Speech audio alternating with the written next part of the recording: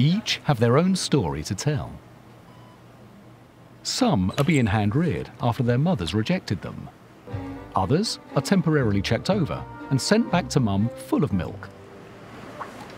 From newborn to three months old, they are cared for by specially trained panda nannies. Just like human babies, they need regular feeding and plenty of sleep to prepare their little bodies for growing up. At 40 days old, this youngster has opened its eyes and is already five times heavier than when it was born. It is a panda mini-me. This is down to fat-rich milk, and at this age, they get it five times a day. Milk is baby food for now.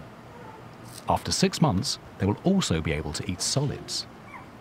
For pandas, that means bamboo.